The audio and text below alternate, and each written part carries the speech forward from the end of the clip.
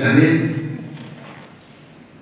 من الضروري علينا أن نتنابى في ختام عمل النجوى ولاية الشرق صدر بيان ختامي عن أعمالها في ظل التحديات والتطورات وتفعيل آليات الحوار والتشاور والتعاون.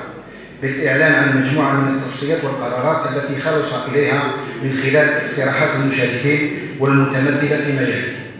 نطلب من الجميع يتبعوني مليح واش قلنا في الندوات لأنه هذا هذا البيانات والتوصيات راح تجيب على عدة تساؤلات ومقترحات اللي راكم أنتم جايبينها. أولا فتح ورشات عملية في إطار إعداد إعادة النظر في تحيين المنظومة القانونية والتشريعية المسيرة لشؤون قطاع الشباب والرياضة. نحن اليوم بصدد الندوة الرابعة لمناقشة مسودة مشروع القانون الأساسي دي زيروسات لقطاع الشباب والرياضة. اللي من خلال هذا القانون اللي كان ينظمنا في منذ 20 سنة لم يشهد أي تعديل أو تغيير.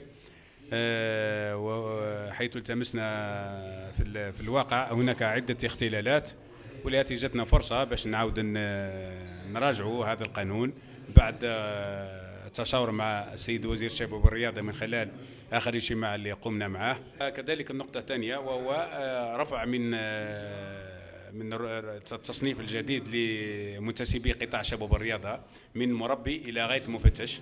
آه كما تعلمون أن اليوم ديوان مؤسسات شباب لولاية البويرة يحتضن الندوة الجهوية لولايات الوسط آه المنظمة من طرف الاتحادية الوطنية لعمال قطاع الشباب والرياضة وهذا بحضور جل الأعضاء أعضاء الاتحادية الوطنية لولايات الوسط تحت إشراف السيد الأمين العام للاتحادية الوطنية لعمال قطاع الشباب والرياضة وحضور ممثل السيد معالي وزير الشباب والرياضة.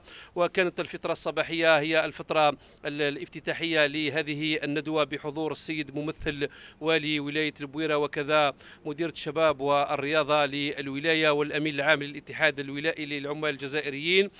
في هذه المبادرة التي تدخل في إطار ندوة الجهوية لولاية الوسط لتحيين وإثراء القانون الأساسي لقطاع الشباب والرياضة 1007 هذا القانون طالما انتظروه المستخدمين والموظفين حتى تحسن المعيشة والتوظيف.